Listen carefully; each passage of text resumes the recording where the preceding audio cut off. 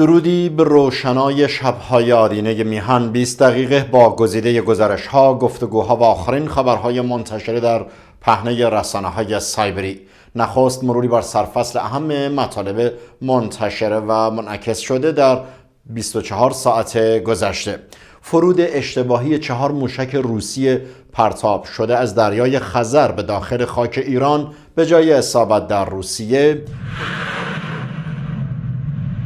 Tearing into the night over the Caspian Sea, Russia's first naval barrage of its Syrian war, and the latest dramatic escalation in this conflict.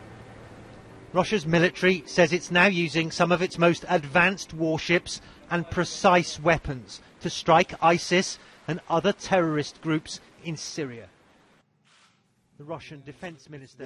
کشته شدن سردار همدانی از سرداران عالی رتبه نظام جمهوری اسلامی در حلب سوریه زمزمه هایی از بیماری و سلامت رهبران محصور سبز در خانه حبس تهران ادامه کش و قوس های آمریکایی ها و روس ها حول هماهنگی نبردها علیه مواضع خلافت اسلامی در سوریه و اختصاص جایزه جهانی ادبی نوبل به یک بانوی از بلاروس و چند خبر کوتاه دیگر از ایران منطقه و جهان. اهم موضوعات برگزیده امشب جمعه 17 ماه مهر ایرانی برابر با 9 اکتبر سال 2015 میلادی است که در طول 20 دقیقه پیش روی به سمع و نظر شما بینندگان عزیز خواهد رسید.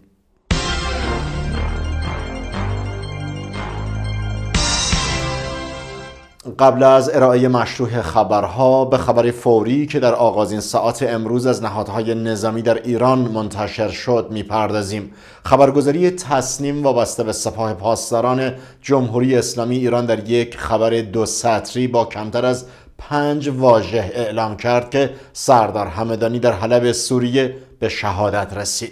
در متن این خبر کوتاه به شیوه رسانه های جهانی در فرمت خبر فوری چنین میخواندیم که به گزارش خبرگزاری تصنیم سردار همدانی در حلب سوریه به شهادت رسید. اخبار تکمیلی متعاقبا منعکس خواهد شد. همینک بیننده ادامه مروری بر خبرهای کوتاه خواهید بود که با سایر خبرهای انتخابی در خدمت و خانه های شما خواهیم بود.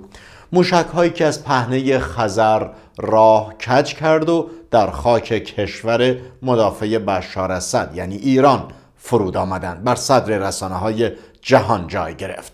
خبرگزاری های غربی به نقل از مقام های آمریکایی گفتند که چهار موشک کروز که روسیه از دریای خزر به سوی سوریه شلیک کرده بود در مناطقی از ایران سقوط کردند روسیه این خبر را رد کرد. شبکه آمریکایی CNN گفته است که نیروهای نظامی و اطلاعاتی آمریکایی با رصد تحولات در منطقه به این نتیجه رسیدند که چهار موشک شلیک شده به سوی سوریه به مناطق نامشخصی در ایران اصابت کرده است. خبرگزاری اسوشیتد پرس از قول یک مقام آمریکایی که نامش فاش نشد نوشته است که سقوط این موشک ها در خاک ایران در روز چهارشنبه اتفاق افتاده است. همچنین در سوی دیگر خبرگزاری روسی انترفاکس از قول وزیر دفاع این کشور نوشت که همه موشک های شلیک شده به اهداف تعیین شده در سوریه برخورد کردند و وزیر دفاع سوریه به کنایه در پاسخ به این اتهام وارد شده گفته است که برخلاف CNN ما با ارجاب منابع بینام حرف نمی‌زنیم. هنوز هیچ مقام ایرانی و یا آمریکایی به طور عمومی در این باره موضع نگرفته است. جز آنکه خبرگزاری ایرانی فارس وابسته به سپاه این خبر را به عنوان جنگ روانی آمریکا علیه روسیه پوشش داده است. عدهای از کاربران ایرانی شبکه های مجازی نیز گزارش ها درباره سقوط مشک های روسیه را به خبری مرتبط دانستهاند که دیروز درباره سقوط یک شیء پرنده ناشناس در شهرستانی به نام تکاب در شمال غربی ایران منتشر شد. ایرج سقفی فرماندار تکاب درباره خبر سقوط یک شی ناشناس و شنیدن صدای انفجار در روستایی با نام قزقاپان گفت به طور قطع نمی‌توان گفت که این شی پرنده پهباد بوده است ولی قطعاتی از لاشه آن در محل سقوط موجود است.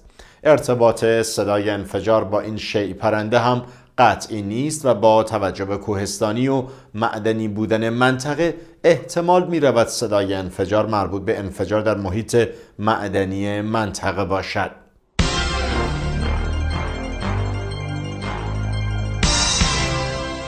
خبرهایی تازه از کشته شدن سردار حسین همدانی به دستمان رسیده که بخشهایی از آن را با هم می‌خوانیم که در روابط عمومی سپاه پاسداران انتشار یافت خبرگزاری تصنیم وابسته به سپاه در تازه ترین اطلاعیه که صادر کرد نوشت سردار همدانی در حین انجام معمولیت های مستشاری در سوریه به شهادت رسید. کشته شد یا جان باخت.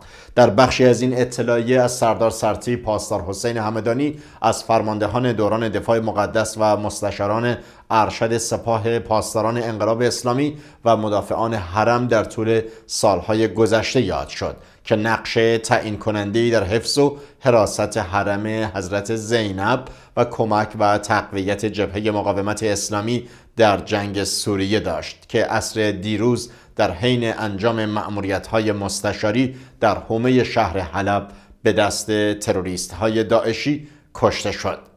این خبرگزاری نزدیک به نهاد نظامی سپاه پاسداران جمهوری اسلامی ایران در توصیف این سردار جانباخته در جنگ داخلی سوریه که مصداق روشنی است از مداخله آشکار جمهوری اسلامی در سوریه به عناوین و سوابق وی نیز اشارات گسترده کرد. از جمله اشاره کرد که سردار حسین همدانی یکی از فرماندهان نخبه سپاه پاسداران است که تجربه فرماندهی جنگ های ناهم یا نامتقارن در کردستان و تجربه جنگ در استانهای غربی کرمانشاه و همینطور مشاور فرمانده کل سپاه و جانشینی قرارگاه امام حسین را در کارنامه خود داشته است. بنابر گزارش خبرگزاری تصنیم سردار همدانی یکی از بنیانگذاران سپاه منطقه غرب خصوصا استان همدان و کردستان بوده و از فرماندهان جنگ تحمیلی به تعبیر این وبسایت و از یادگاران دوران دفاع به باز به تعبیر خبرگزاری تصنیم دفاع مقدس به حساب می آید دفاع مقدس یا جنگ تحمیلی تحمیلی عنوانی است که به جنگ هشت ساله ایران و عراق گفته می شود ادامه می دهیم با خبرهای کوتاه از جهان پررنج مهاجران. اتحادیه اروپا تصمیمی سخت سرانه تر در قبال مهاجران اتخاذ می کند مقامه های کشورهای عضو اتحادیه اروپا در تازه ترین دیدار خود در مورد موضوع پناهجویان و مسائل ناشی از آن بر سر تسریع اخراج مهاجران غیرقانونی به توافق رسیده و در مورد تشکیل نیروهای ویژه مرزبانی نیز مذاکره کردند. به گزارش خبرگزاری رویترز در سند تازه‌ای که وزیران کشور اعضای اتحادیه اروپا 16 ماه مهر بر سر آن توافق کرده اند مهاجران غیر قانونی که اقامت آنها از سوی اعضا رد شده سریعتر از گذشته از این کشورها اخراج خواهند شد. توماس دمیزر وزیر کشور آلمان گفته است بازگشت همیشه سخت است. ایشان افزود که اما ما تنها می توانیم به پناهجویانی که به سرپناهی امن نیاز دارند اسکان دهیم. کسانی که به سرپناه امن نیاز ندارند نیایند یا فورا اخراج خواهند شد. تازه ترین دیدار و مذاکرات مقامات اروپایی پس از آن انجام می شود که اتحادیه اروپا عملیات نظامی خود علیه قاچاقچیان انسان را در دریای مدیترانه آغاز کرده است. طی ماههای گذشته برخی کشورهای اروپایی با بحرانها یا تنشهایی روبرو شدند که ناشی از ورود موجی کم سابقه از پناهجویان است. آنگلا مرکل صدر اعظم آلمان از سیاست درهای باز برای پناهجویان دفاع کرده است که در تازه ترین گزارش ها گویا 92 درصد آلمانی ها با این سیاست وی نیز مخالفت کردند.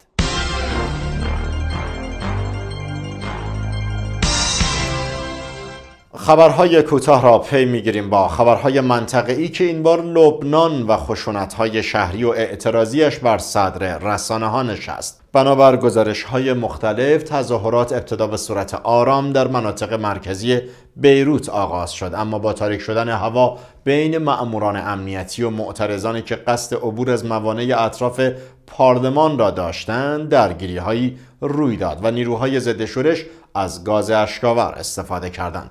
به گزارش رسانه های محلی این درگیری ها دست کم چهل مجروح بر جای گذاشت و شماری از تظاهر کنندگان نیز بازداشت شدند. تظاهر کنندگان که شمار آنها صدها تن گزارش شده به اوضاع نامناسب اقتصادی و آنچه حاکمیت فساد بر نهادهای کشور میخواندند اعتراض داشتند. همزمان جلسه گفتگوی ملی لبنان نیز که قرار بود با هدف پایان دادن به بحران سیاسی موجود برگزار شود به تعویق افتاد. ورق می‌زنیم با خبرهای برگزیده دیگر. از آخرین خبرهای منطقه‌ای صدای ناآرامی هایی از کردستان عراق نیز به گوش می‌رسد. اعتراضات بودجه‌ای و اختلافات دولت مرکزی و اقلیم کردستان در مدل فدرالی که دیریست محل مناقشه است. در این راستا گزارش شد بحران سیاسی و اجتماعی به همراه تشدید بحران اقتصادی در اقلیم کردستان عراق روز پنجشنبه صدها معترض را به خیابانهای شهر سلیمانیه در کردستان عراق کشاند و با نیروهای پلیس درگیر شدند. در این اعتراضات که پلیس برای متفرق کردن معترضین به استفاده از گاز اشکاور مجبور شد 19 نفر از راهپیمایان نیز زخمی شدند همچنین برخی از رسانه ها که سرگرم فیلمبرداری از راهپیمایان بودند مورد حمله معترضین قرار گرفتند و برخی از خبرنگاران عملا نیز ضرب و شتم شدند. در راستای اعتراض ها معلمین اقلیم کردستان عراق نیز دو هفته است از حضور در کلاس های درس خودداری کردند و کماکان دانش آموزان معلم ندارند. در پی این اعتراض ها حکومت اقلیم کردستان اعلام کرده است تا روز دوشنبه حقوق معلمین را پرداخت خواهد کرد. با این حال معلمین به اعتصاب خود پایان ندادند. در پی این اعتراض ها رئیس پارلمان اقلیم کردستان عراق از نیروهای پلیس خواست رفتار مناسبی با معترضان داشته باشند. حکومت اقلیم کردستان عراق که بیش از سه ماه است به طور مستقل نفت خود را صادر می کند کماکان در پرداخت حقوق کارمندان با مشکل روبرو شد حکومت مرکزی بغداد نیز اعلام کرده است بر اساس میزان نفت صادر شده توسط حکومت اقلیم کردستان بودجه را روانه اقلیم می کند.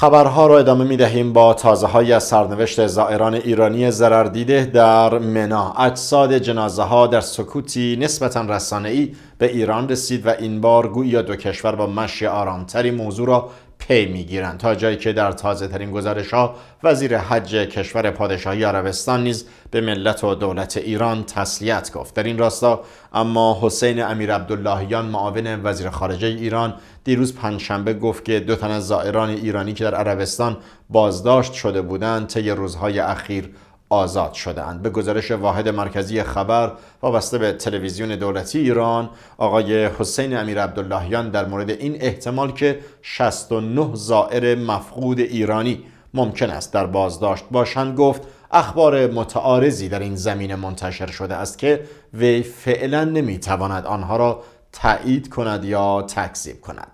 از سوی دیگر مقامی نزدیک با آیت الله علی خامنه ای علی قاضی اسکر نماینده خامنه ای در سازمان حج و زیارت دیروز هنگام بازگشت از عربستان به تهران گفت که دستگیری زائران ایرانی یا جاماندن تعدادی از مجروحان در بیمارستانهای عربستان به هیچ وجه صحت ندارد. آقای قاضی اسکر همچنین از آنچه شایع سازی ها در مورد حادثه منا خواند انتقاد کرد و گفت مجروحان در بیمارستان های جده، مکه، منا و طائف شناسایی شده اند و به نحو احسن در حال درمان می باشند.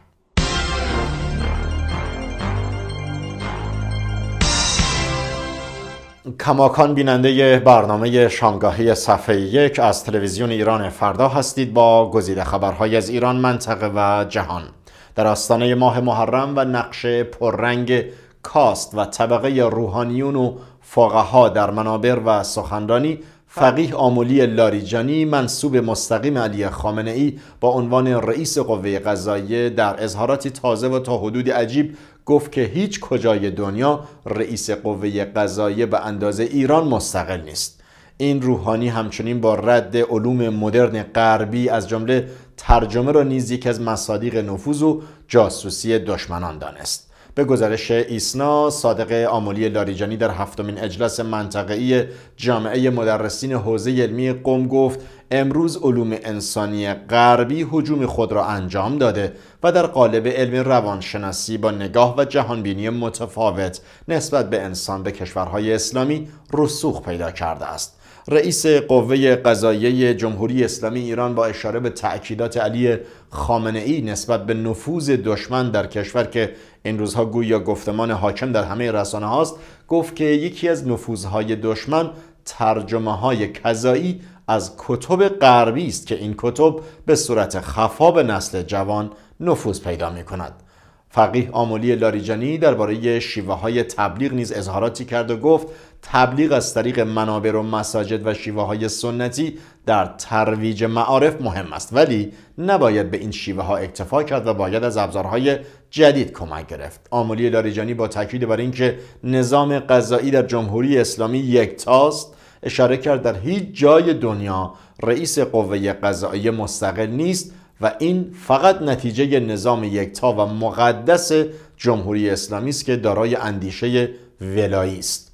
ایشان با اشاره به نقش روحانیت در بصیرت افزایی گفت در فتنه 88 همه غربی ها فتنگران را به شورش تشویق کردند و اگر بصیرت نبود با وجود محاصره تبلیغاتی ایران نمی توانستیم از این گرداب عبور کنیم. به روال معمول همواره در پایان کلام به ماجرای انتخابات سال 88 با واژه فتنه میکوبند.